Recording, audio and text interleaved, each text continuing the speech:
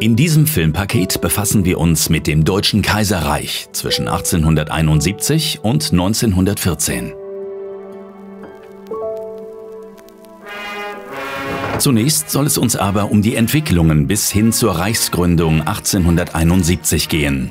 Denn die deutsche Bevölkerung sehnte sich schon lange nach einem Nationalstaat.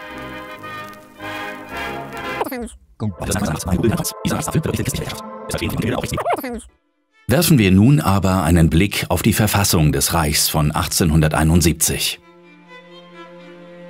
Sie enthielt den politischen Rahmen für das Kaiserreich. Das Deutsche Reich von 1871 war eine konstitutionelle Monarchie. Der Kaiser war das Staatsoberhaupt.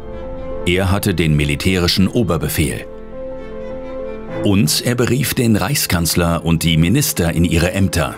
Er konnte sie aber auch wieder entlassen.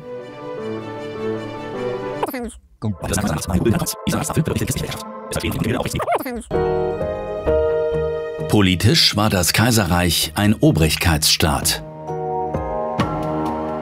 Als Obrigkeit galten Vertreter des Staates wie Polizei und Militär. Sie waren die Autorität und deren Entscheidungen musste man ohne Widerspruch hinnehmen. Ein Sinnbild dieses Obrigkeitsstaates ist bis heute die Pickelhaube.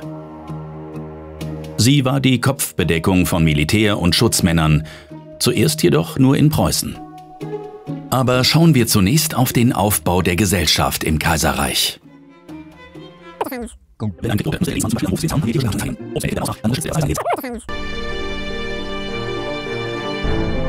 1879 schloss Bismarck dann ein weiteres Bündnis mit Österreich-Ungarn, den Zweibund.